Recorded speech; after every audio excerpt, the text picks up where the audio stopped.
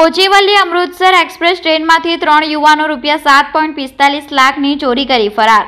Column railway સ્ટેશનથી સુરત સુધી કોચીવલી express ટ્રેનમાં મુસાફરી કરી રહેલા મુસાફરનું ટ્રોલી બેગમાંથી ચેઇન ખોલીને સોના, ચાંદીના દાગીના મળીને કુલ્લે રૂપિયા સાત પોઈન્ટ પિસ્તાલીસ લાખની ત્રણ ચોરટાઓ ચોરી કરી ગયા હતા. માહિતી અનુસાર, સુરતમાં રહેતા રાજુભાઈ ઇન્નુને ક્રિશ્ચન કારખાનું ચલાવીને પરિવારનું ગુજરાન ચલાવે છે.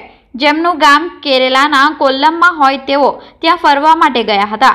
પરિવાર સાથે ગત તારીખ પંદર બાર બે હજાર એકવીસના રોજ તેઓ પરિવાર સાથે કોલ્લમ રેલવે સ્ટેશન પરથી Kochuveli Amritsar express train coach number B પંચાવન, સીટ નંબર સત્યાવન, અઠ્યાવન, ઓગણસાઠ સાહીઠ બેસીને પરિવાર સાથે સુરત આવવા માટે રવાના થયા હતા. ટ્રેન ચાલુ થતાં તેઓ પોતાની સીટ ઉપર સૂઈ ગયા હતા.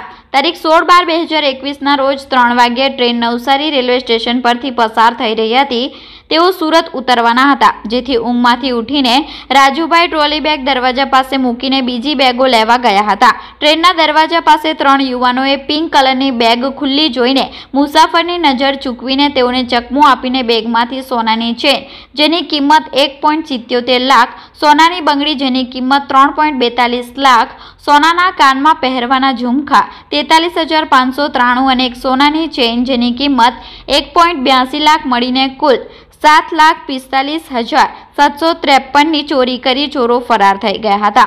સુરત રેલવે સ્ટેશન આવતા ઉતરી ગયા હતા અને ઘરે જઈને બેગમાં તપાસ કરતા સોનાના દાગીના ન હતા, જે અંગે ચોરી થયાની ફરિયાદ વલસાડ રેલવે પોલીસ મથકે નોંધાવી હતી.